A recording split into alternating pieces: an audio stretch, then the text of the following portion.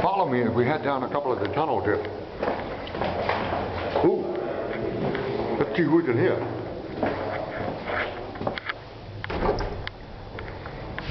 Hmm.